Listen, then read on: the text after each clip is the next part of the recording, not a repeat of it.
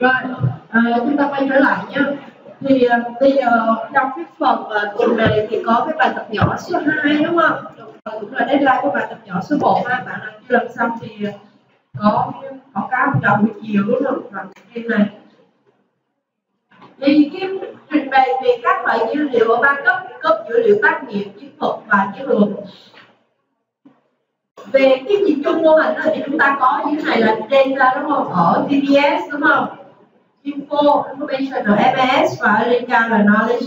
Thì trong doanh nghiệp á, đúng không? Cái này là trong bối cảnh cảnh của IS trong hệ thống thông tin, đúng không? Người ta tách ra như vậy. Giờ nói về trong doanh nghiệp.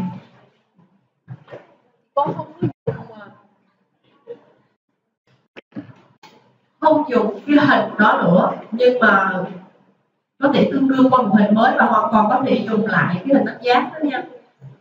Đây tạm gọi là tác nghiệp. À, info information thông tin. Thì ở đây đi về doanh nghiệp business, chia ra cũng tương tự tác nghiệp. Ở đây gì các bạn? Chiếu gì? Nhớ không? Chiếu. Thuật đúng không? Thì ở lúc trước cô nói luôn tới đồng chiếu thuật. Và ở trên cao là chiến lược đúng rồi. Và tương ứng với cái mức này là TTS đúng không? Thì anh anh uh, IS ở về hệ thống thông tin thì nó tương đương cái này là trong phạm vi doanh nghiệp thì cô xóa cái uh, artifact này nọ, bởi vì nó không có liên quan nữa.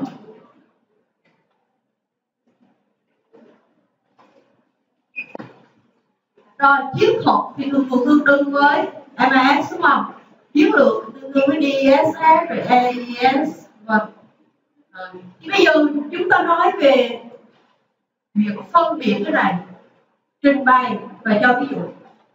Thì quy về đây thì nó dễ rồi ví dụ được tác nghiệp mình có thể chọn một cái chức năng nào đó. Thì bán hàng sản xuất mua hàng kế toán gì đó mình nói thì đúng không? Ví dụ. Thì cái thông tin đó có thể là một cái um, gì? Một cái mẫu hóa đơn thanh toán đúng không? À, đúng rồi rồi có thể là một cái đợt giao dịch liên quan tới bán hàng là mua hàng này order này cái thanh toán đơn hàng đó. Kế toán thì có thể là một cái gì một cái ghi nhận một cái biên lai like, đúng không? Biên lai like thu tiền biên lai like nhận tiền thì gì đó đó là thông tin của cái tác nghiệp công việc hàng ngày của doanh nghiệp á. Một bộ phận chức năng nó tương ứng nó xài hệ thống TPS thì cái thông tin nó có được liên quan thì nó chính là thông tin ở mức tác nghiệp đúng không? Chuyên nghiệp và hợp tác làm việc với nhau trong doanh nghiệp đó. Rồi chiến thuật thì sao? Ở cái mức cao hơn một đất. Mà tương đương với cái người sử dụng chính là cái người quản lý. À, ở tầng này thì người ta cần nắm biết những cái con số tính toán. Những cái báo cáo thống kê. Nếu là bộ phận bán hàng thì cần biết sao? Doanh thu đúng không? Là tổng số các cái sản phẩm hàng hóa đúng không? Ừ, tồn kho đúng không các bạn thì bộ phận bán hàng không có hoạt động độc lập đúng không? Đơn hàng có bao nhiêu đơn hàng mới thì đơn hàng nó phải dựa vào cái gì? Tình hình uh, khả năng sản xuất và cái kho nếu mà mình không sản xuất thì nó phụ thuộc nhiều về cái kho đúng không? Và những cái đơn hàng đặt mà mình đang chưa được chuẩn bị về liệu rằng sắp tới thì chúng ta có đủ hàng để giao cho những cái đơn hàng mà đang đang order hay không? Đúng không? Đó rồi bên cạnh đó phải làm việc với cái bên nào kế toán để mà theo dõi công nợ của khách hàng, đúng không? Ví dụ thường thường những cái khách hàng mà, gọi là thân thiết đúng không? Lâu năm thì thường thường nó sẽ, công ty sẽ cho cái mức, gọi là cái định mức, cái limit là về nợ trong khoảng thời gian bao lâu, cái khoản tiền bao nhiêu. Nếu mà trong trong cái ngưỡng nó vẫn còn cho phép thì sao? Có thể là cho đơn hàng này đi chấp nhận đơn hàng. Còn nếu không thì sao? Thì yêu cầu phản hồi khách hàng họ phải thanh toán nợ tiền cũ sau đó đơn hàng này mới được. Tiếp tục uh, chấp nhận order đó. Các bạn hình dung không? Có nghĩa là ở cái bước này này. Rồi ở đây nếu ở cái tầng uh, quản lý bán hàng thì sao? À, gọi là sale manager đúng không? Quản lý bán hàng chứ không phải là sale uh, seller đúng không? Sale uh, nhân viên bán hàng. Nhân viên bán hàng thì chỉ là quan tâm và chăm sóc một số khách hàng nào đó nhưng mà người quản lý thì sao nắm bắt chung tình hình là toàn tổng thể. Đúng không? Nhân viên nào thì sao? Đã đạt được chỉ tiêu đúng không? Bây giờ là coi như cũng là gấp nghé hai phần ba của tháng rồi đúng không bạn? À, còn 10 ngày nữa ví dụ này thì nhân viên nào sắp sắp đạt được chỉ tiêu đúng không? Doanh doanh số đưa ra trong tháng. Nhân viên nào chưa đúng không? Để có sự hỗ trợ kịp thời.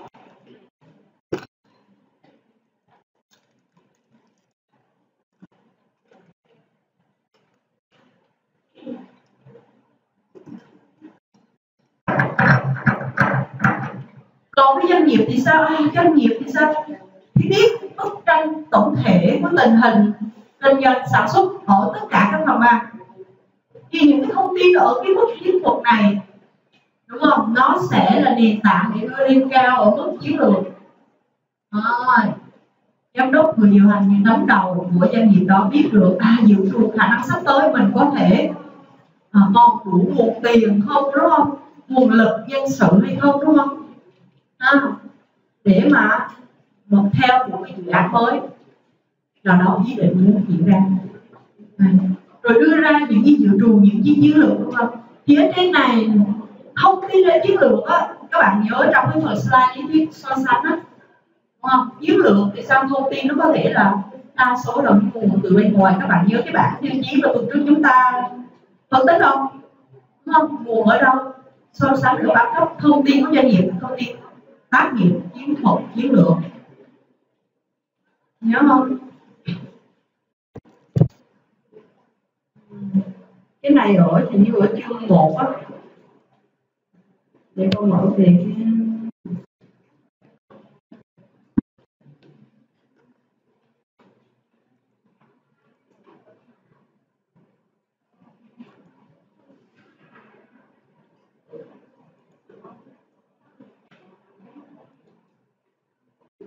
À, cái này cô mới thấy nha. Bữa nay cứ gõ vào một cái tài nguyên thì nó bắt cô phải đăng nhập.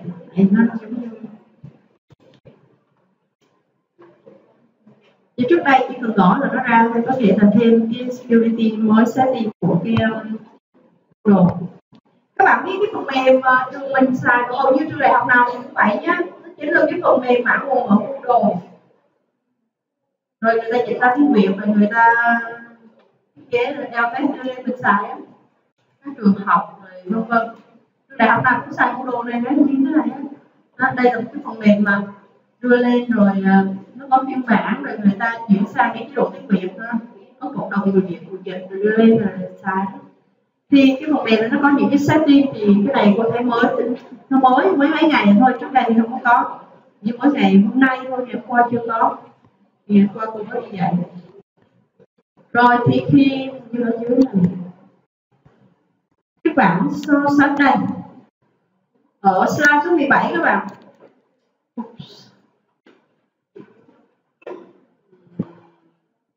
Okay. Ngày hôm nay thì à, tin nhắn à, gửi chúc mừng này khắp mọi nơi các bạn ha. Thì chúng ta cũng đi chúc cho nhau nhé.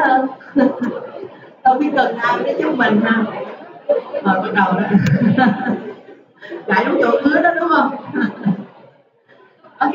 Rồi thì các bạn đây tác nghiệp chiến thuật chiến lược là ở ba cái bộ đó.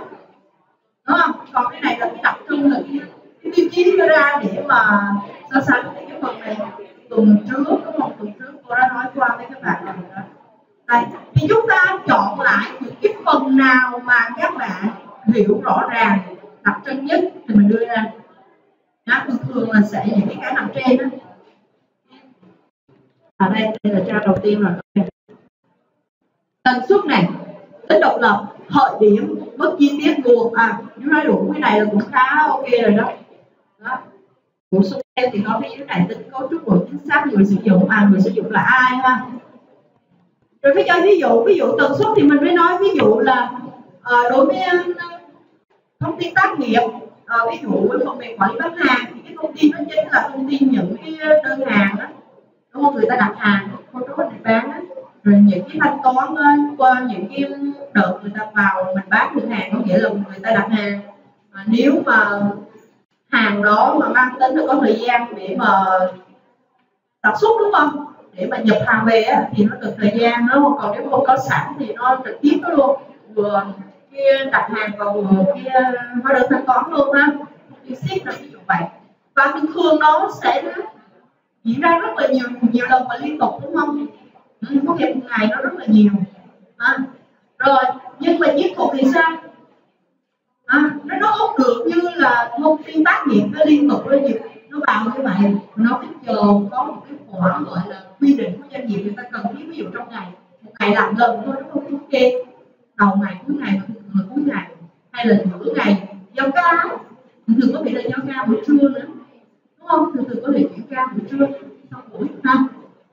Nhưng mà cũng phải cũng có điều đạo. Có nghĩa là sao cứ buổi trưa đúng không? Hay là buổi cuối ngày khi mà đóng cửa hết thì bắt đầu có cái sự ờ, thống kê kiểm kê thường mình thấy như trong lĩnh vực là bán hàng thì phải người ta kiểm kê lại đúng không? Nhân viên thì đóng cửa xong nhân viên làm việc một chút là kiểm kê sau đó cũng về.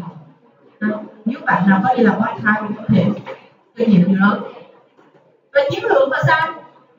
À, cái thứ thông tin chiến lược này thường thường là sao? Nó cho nên sâu thời gian dài trong trường hợp đặc biệt là xong thường thường qua một quá trình dài thì người ta đưa ra một chính sách chiến lược nào đó để mà thực hiện. Thì đâu phải đưa cái thực hiện gì ngày ngày mai thay đổi chiến lược khác không? Có điều đó không? Có đúng không? Kế hoạch chiến lược á chính sách để con đường ví dụ là à, cái chiến lược là sao? Như thế nào gọi là chiến lược?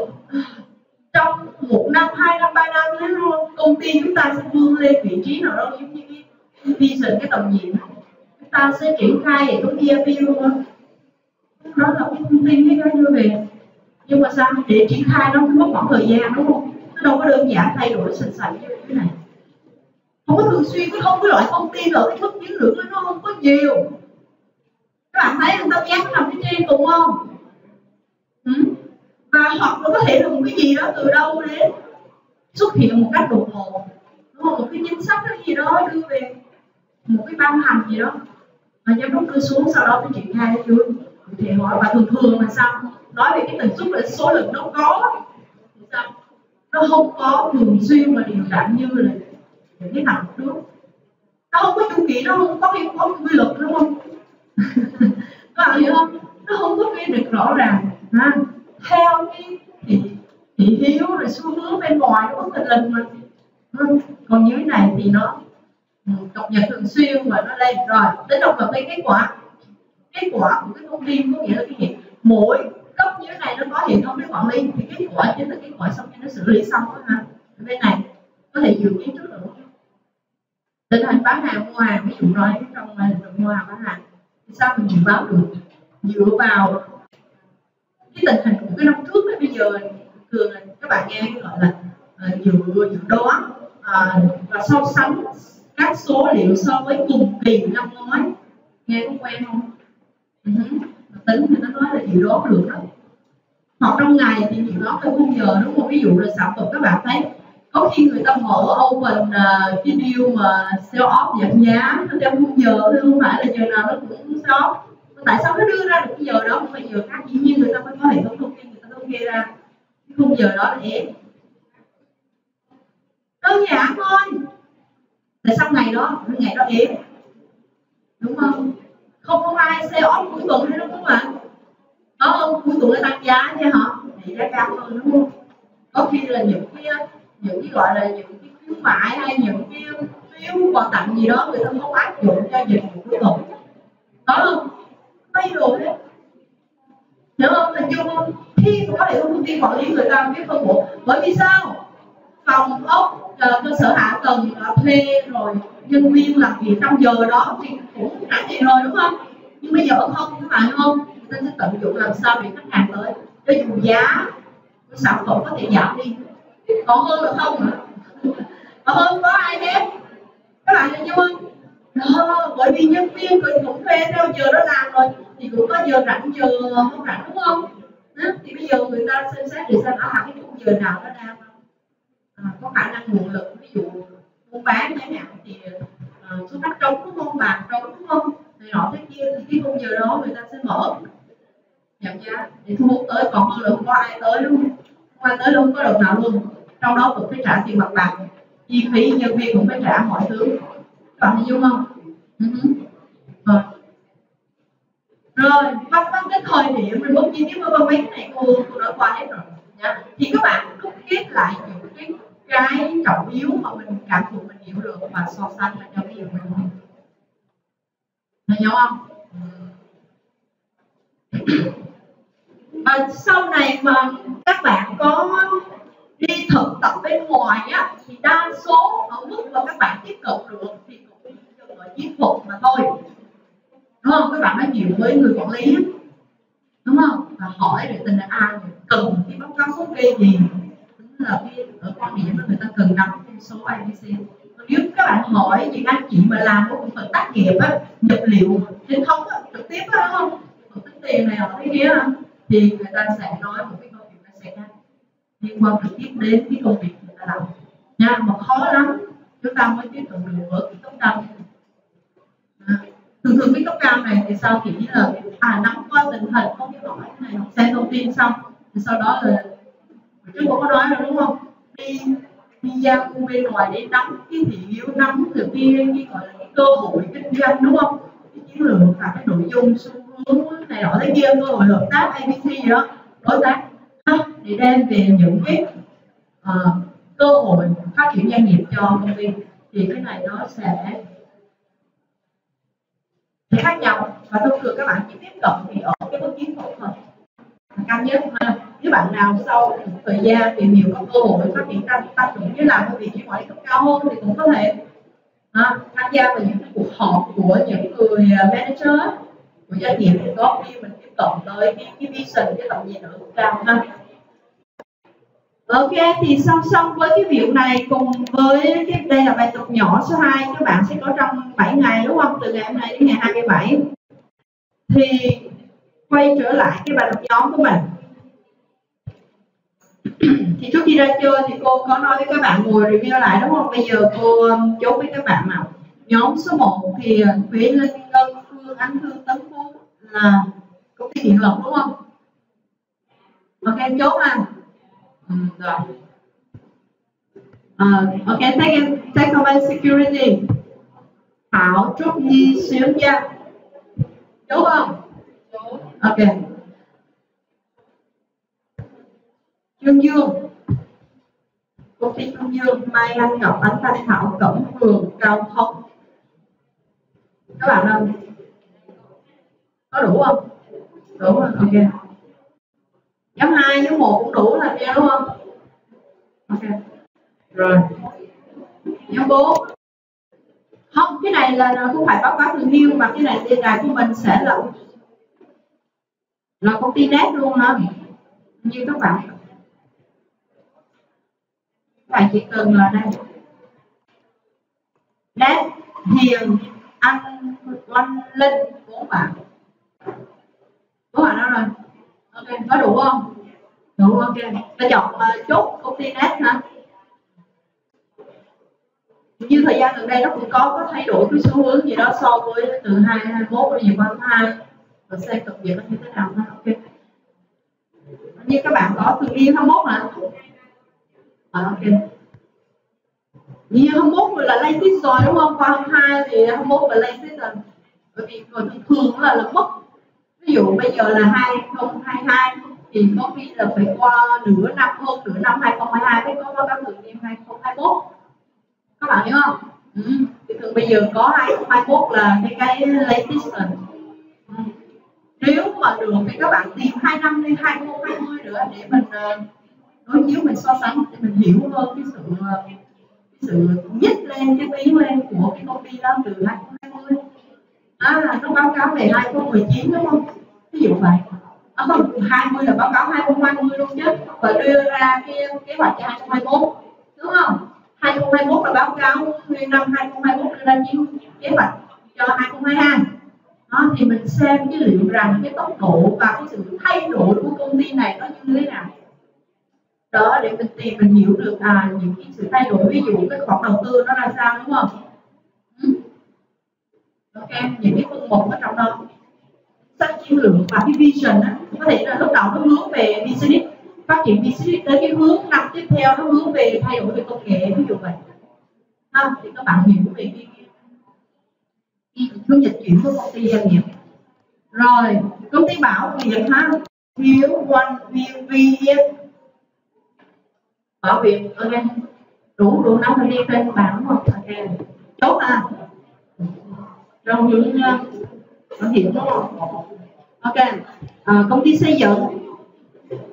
À, Lan hương hoa tiên thảo hiền đúng không? Có đủ thành viên không? Ok à, Vietcombank Security đúng không lúc nãy là Techcombank thì bây giờ Vietcombank Châu Hạnh Luyện Nhi Thức. Có đủ thành viên không? Ok. Rồi. Công ty cổ phần kỹ thuật điện điện nó không? Công ty điện IITD Quỳnh Minh Duy Thịnh Việt. Ờ, à, ba bạn bắn hả? Bắn hai hai em tên là gì? Tên gì à, Quỳnh không phải tiếp. Quỳnh và ở đây là Minh đúng không? Lê Ngọc Minh Quỳnh ok. Hai bạn này có còn ba bạn này bán không nha? Các bạn nào? Cái tên gì? À Việt Việt ngồi xa có Việt ơi. Duy và Thịnh Hà Duy Thịnh vắng đúng không tám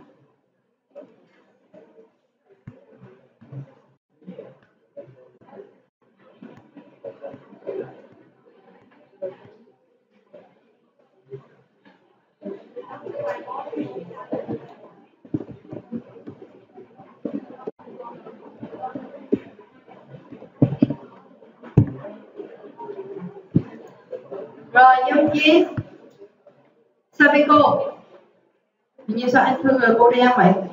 À, Tài, Quang, Hoàng Anh, Hồng Minh, Anh Thư. Có đây không? Đúng không? một hai ba có hai bạn bốn. Một hai ba bốn có bạn nào? Có bạn anh đúng không? Ok tại sao cái tên bạn thư là cô đen à bạn nữ nữ trong nhóm không thấy sao? Tại cô đen cái này? Rồi vắng hoàng anh đúng không? Hoàng anh nhân chín nữa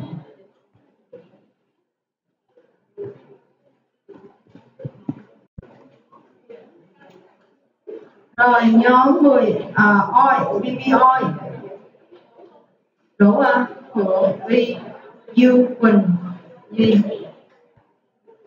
ok ngân hàng O Ocean đúng không?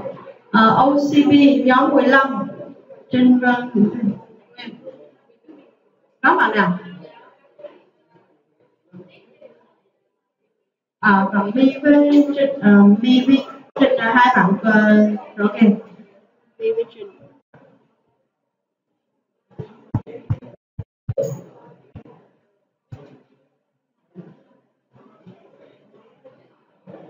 you.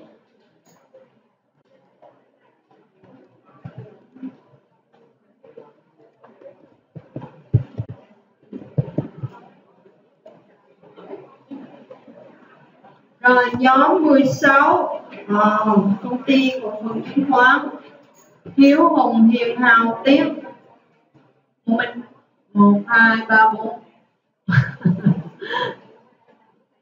CB làm việc riêng. Chọn công ty này hả? Chốt không? Công ty này có đủ data cho các bạn. Các bạn có thể thay đổi lại được trong nội trong ngày hôm nay nhé thay đổi gì thì nhắn cô nha. Chỉnh sửa trong này xong rồi nhắn cô tiếp. Không biết? Ừ, ok này có sẵn báo cáo về đến chưa hả? Không hai báo cáo từ đi không? Có sẵn báo cáo thời đi đúng không? Một hai năm không? rồi 17 Manila Thảo Duyên Tông Dung Việt đúng không? Ok. Bạn đâu rồi? Bạn tên gì? À, bằng biển đúng không? 17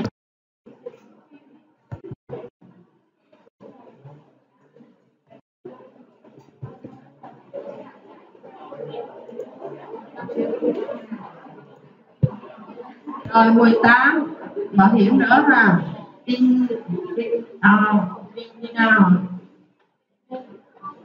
Nhóm này bốn bạn. Nhiên Phương Châu Anh. À, có bạn nào? Ờ, à,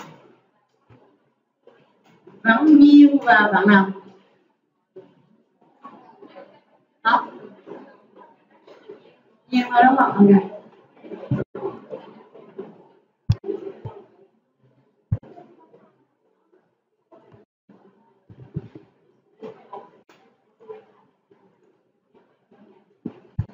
rồi nhóm 19 đây là 19 à, hợp pháp trung nhi tú minh viên nó hợp pháp thì có mình em à hay cái gì? Rồi còn bạn nào nữa trong danh sách này ba bốn năm đủ đúng không? Ok. Thấy hồn á rồi thì bây giờ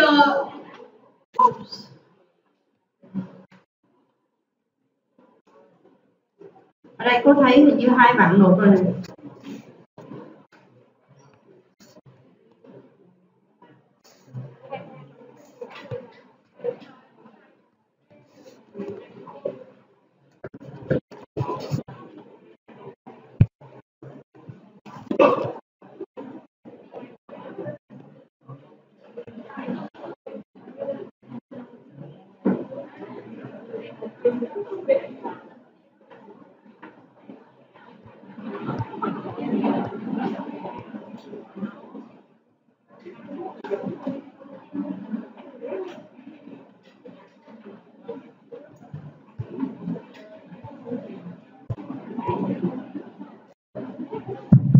rồi bây giờ thì ờ, chưa nói đến nhiều bài tập nhóm. Thì bây giờ một cái phần mà làm tại lớp chúng ta sẽ trả lời câu hỏi các bạn có thể ngồi theo nhóm tùy đi các bạn chứ không phải là bắt buộc phải là cái nhóm lúc nãy. Thì ờ, tại lớp như này mỗi nhóm như vậy khoảng năm bạn trở lại thôi. À, rồi ờ, lấy ra tờ giấy ghi tên thành viên và mỗi nhóm như vậy có tự đặt cho mình một cái tên nào đó mình thích. Ví dụ là ví dụ là à, những anh à, hết hết qua cái rồi đúng không những uh, cô nàng là hữu mơ đúng không? Những anh chàng là điển trai đúng không? Rồi vân vân tên gì tùy ý lắm cho nó, nó thoải mái chứ không là bắt mình hỏi căng thẳng. Rồi và các bạn sẽ trả lời cái câu hỏi là câu 5 và câu 6 doanh nghiệp sẽ phải đối đầu với những khó khăn gì khi mà hệ thống hệ thống quản lý và nhu cầu quản lý của doanh nghiệp và nó ở mức này mình biết? Doanh nghiệp có nhu cầu quản lý. Cái mức này đúng không? Thông tin tổng hợp rồi quản lý để mà follow để làm sao thúc đẩy. Cái vấn đề business kinh doanh của mình nó tăng lên đúng không? Nó phát triển nó triển nở hơn. À, nó thêm lợi nhuận rồi này nọ thế kia. Thì khi mà công nghệ thông tin phát triển thì dĩ nhiên nó không phải đơn thuần là những cái lợi ích đúng không? Nó sẽ có những cái cái sẽ là thách thức hay là gọi là khó khăn nó khi nhìn ra bên ngoài công nghệ tiên tiến và doanh nghiệp sao? Có cái cảm giác giống như là mình vào cái đường xa lộ, xa tốc á. Mình phải đi trên con đường đó. Đúng không? Mình phải cân đối cho cái tình hình thu chi, tiền bạc, rồi các khoản của công ty mà mình phải nghĩ đến những cái khoản để mà để dành cho cái đầu tư trong lĩnh vực công nghệ thông tin. Ví dụ vậy, công nghệ thông tin đó cũng đặt ra yêu cầu như thế này về công ty về việc thay đổi phát triển không ngừng đúng không để tạo những giá trị sản phẩm và dịch vụ theo cái thời đại. Phải hiểu không? Đúng không thì cái thách thức à, thì bây giờ mình nói thách thức cho mình không nói đến cái cơ cơ hội hay là thuận tiện nhé nhìn ở cái cạnh thách thức ở cái câu số 5 rồi còn câu số 6 á, thì mình nhìn ở bức tranh à, khi tách ra khỏi rồi mình nói về à, những hệ thống thông tin quản lý nó đem lại gì cho doanh nghiệp. À có nghĩa là ở quy mô rộng hơn. Câu số 5 thì nó nó hẹp hơn. Nhìn một cái khía cạnh thôi. Thách thức mình nhìn khó khăn thôi nhìn thuận lợi thì nó dễ rồi miễn bàn rồi ha. Thì giờ nhìn một biết khó khăn. Thì một nhóm như vậy, ngồi lại xoay xoay lên có thể là đi linh động do vị trí ngồi đây không cần phải chạy theo một nhóm. Ví dụ trên này có thể là ba bạn này quay luôn này đây thêm bạn, đúng không? Ngồi để mà nhìn thấy mặt nhau đối diện. Chứ nếu chạy dài như vậy thì đâu có có ai nữa đâu các bạn có thể quay lui với hai bạn, ba bạn như này. Chỉ một nhóm có năm người thôi nhé chứ không có nhiều lắm nè và lấy tờ giấy ghi tên thành viên trên đó và mà đặt một cái tên nào đó mà bay bổng ờ, thoải mái ha mình muốn cái gì mình đặt ha. Mình sau đó mình thảo luận hai cái câu này các bạn chép chép thì cô sẽ, sẽ tắt slide nữa nha. Câu số 5 và số 6 à các bạn có thể thấy ở trong cái mình là cái slide số 40 ở chương 1 slide số 40 ở chương 1 câu số 5 và câu số 6 được chưa? À, hai câu luôn. Và nhớ nha hai câu này nó khác nhau nha. Nó không có giống nhau. Cái này là cái nó hẹp hơn câu số 5 nó hẹp và câu số 6 nó rộng hơn. Được chưa? Nó rộng hơn. Cái phạm vi suy nghĩ nó sẽ rộng. Toàn doanh nghiệp đó. Hệ thống thông tin có nghĩa là sao? À hệ thống thông tin quản lý là ở cái bước này này ở cái bước giữa này này nó đem lại chi tiêu doanh nghiệp. Chưa? Ok. Rồi có tắt slide nhá ở slide số 40 chương 1 câu 5 câu 6 và các bạn sẽ có thời gian. Ừ. Bây giờ là tính là 9 giờ 40 đi. Chút nữa thì cô sẽ thâu lại những cái tờ giấy đó. Các nhóm về cứ review viết gì trên nó những cái uh, thảo luận và cái kết quả của mình. Sau đó sẽ là chỉ khi các bạn cố gắng lấy cái tờ giấy đó nó tờ giấy đôi nhá để có hai tờ để sau này mình biến phần của mình. Sau cũng trừ cái chỗ để cô sẽ chuyển cho một nhóm khác review sẽ có phản hồi. Rồi hình dung không ha sẽ nghĩa là cái trang đó sẽ có cái phần ờ, phản hồi nữa. Thì chúng ta sẽ thực hiện trong vòng nửa tiếng. Được chưa các bạn có bộ thời gian 15 phút cho một câu. Chúng ta có hai câu. Các bạn có nửa tiếng 15 phút cho một câu. Là nhớ phân công một bạn thư ký để ngồi uh, chiếc nô viết lại nhé thì 9 giờ 50 đúng không? Nửa tiếng thì chính là 10 giờ 20 đúng không? 10 giờ 20 cô sẽ thâu lại sau cô sẽ chia các nhóm để review. Bắt gặp nhóm này với nhóm kia. Rồi và lưu ý nhá cái kiểu này bây giờ để mà cho nó thực sự là relax có cái, cái âm hưởng gì đó thoải mái thì mỗi nhóm đặt một cái tiêu đề gì đó để cô sẽ có cặp ví dụ lần trước ở lớp không phải là lớp mình à, cái nhóm bên này đặt là em ở đây đâu thì có cái nhóm bên này là không biết nữa thì cô sẽ gom hai nhóm là ví dụ vậy một cái cái nó phân vân bắt cặp đó whatever thì nó tạo cái không khí nó, nó có một cái phân nào đó trong môn một chút. Rồi vậy nhá đến 10 giờ 20 cô sẽ coi để tất cả các nhóm đột lại cho cô nhé ok thì sau đó cô sẽ chia cặp rồi. Các bạn sẽ có 15 phút review bài với nhau rồi sau đó cô sẽ chọn và đọc lên những cái review đó